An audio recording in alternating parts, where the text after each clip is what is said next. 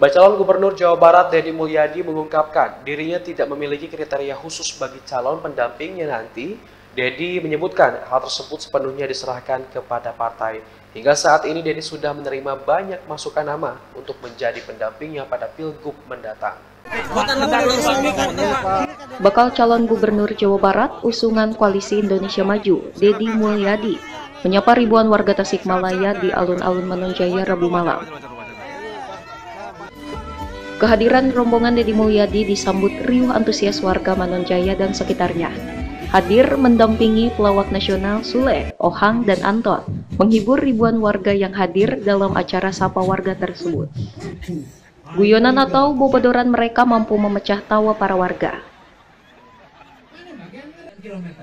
Pada kesempatan ini juga, Dedi menyempatkan menyapa para warga dan memberikan sedikit orasi politik berkaitan dengan niatnya untuk maju dalam pemilihan gubernur Jawa Barat pada Pilkada serentak tahun 2024. Pina mau rakyatna kudu mah. Pamimpina mau rakyatna kudu mah. Ai mau teh naon? Manusia unggul Ditemui seusai mengisi acara, Dedi menjawab terkait dengan calon pendampingnya nanti. Dedi menyebut untuk pemilihan calon pendamping, dirinya sepenuhnya menyerahkan keputusan kepada koalisi.